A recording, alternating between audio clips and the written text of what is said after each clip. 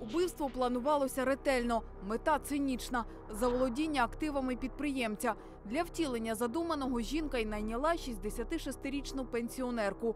Останній пообіцяла чималу винагороду, частину свого майбутнього спадку за посередництво. Та у свою чергу мала відшукати виконавця розправи.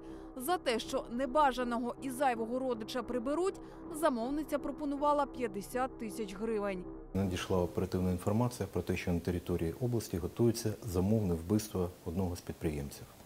Було встановлено особу виконавця, також з нею постійний контакт. Правоохоронці зімітували як викрадення, так і саме вбивство підприємця. Посередницю брали на гарячому під час перегляду фотографій з місця інсценованого злочину та передачі вже другої частини грошей за остаточне виконання. Аванс був ще раніше. Викрито 66-річну громадянку, яка проживає на території області, в тому, що вона готувалася до вчинення умисного вбивства приватного підприємця шляхом підшукання особи, яка це здійснить.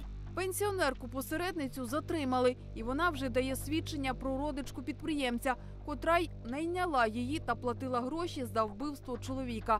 Наразі ведеться слідство. Обом жінкам загрожує до 15 років за ґратами.